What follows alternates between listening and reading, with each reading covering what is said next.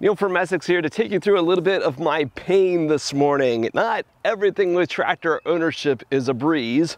One of those things is hydraulic couplers. There are many times that these things can be frustratingly difficult to get connected. In fact, I can't get mine connected out here today. So come along with me here this morning. We're gonna talk about the right way and the wrong way in order to get these things reconnected again when you're having trouble. Messick's, a helping hand with your land. Now, I'm not the slightest bit surprised that I'm having trouble with these things today. When you're dealing with a hydraulic coupler, it's quite a lot different than an air line, right? If you've even an air chuck before, they're very easy to connect. And when you've got a little bit of pressure in those air lines, it's pretty easy to overcome that air pressure in there, right? You can always connect those couplers together and compress that air a little bit more. Fluids, though, are uncompressible, right? And the last time I had these hoses connected, it was about 40 degrees outside.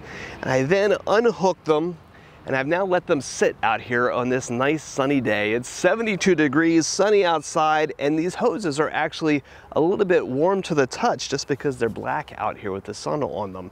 And because of that, we start to get some pressure build up inside of these hoses, enough pressure that I can't overcome that when connecting these Pioneer couplers down into this valve manifold.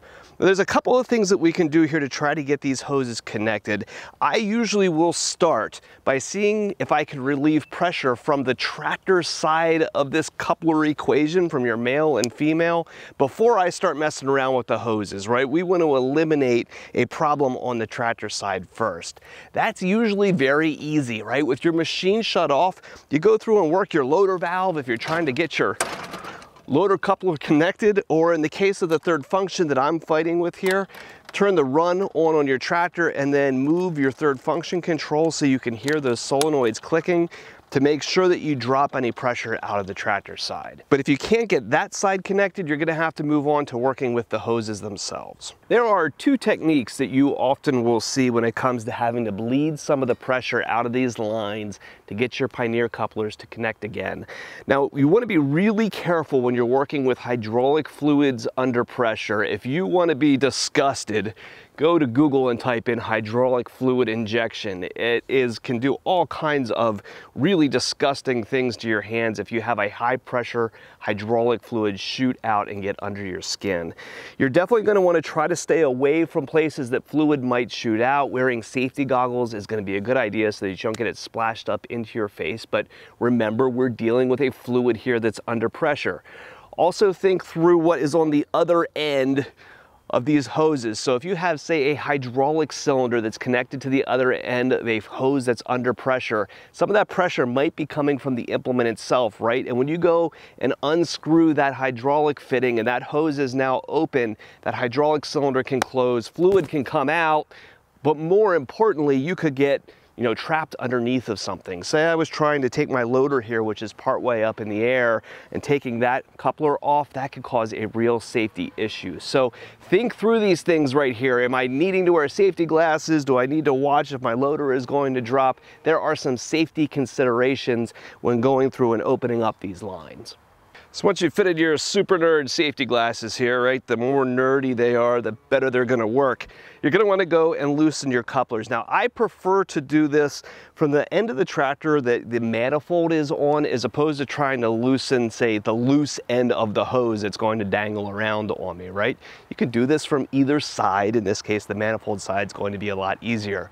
This is not the right tool for the job. I'm at home and I don't have large enough tools in order to work on this because normally I would be doing these kinds of things in the shop. But this is what we've got to work with here today. So we're gonna take this and it usually doesn't take much just a little bit of counterclockwise motion here and you'll start to see some fluid drip out from around the coupler.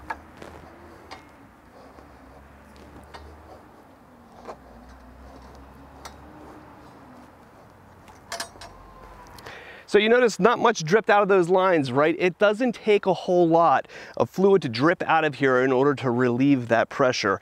Now previously I was sitting here putting all my body weight on top of these things, trying to get them connected so I didn't have to go to the garage for tools.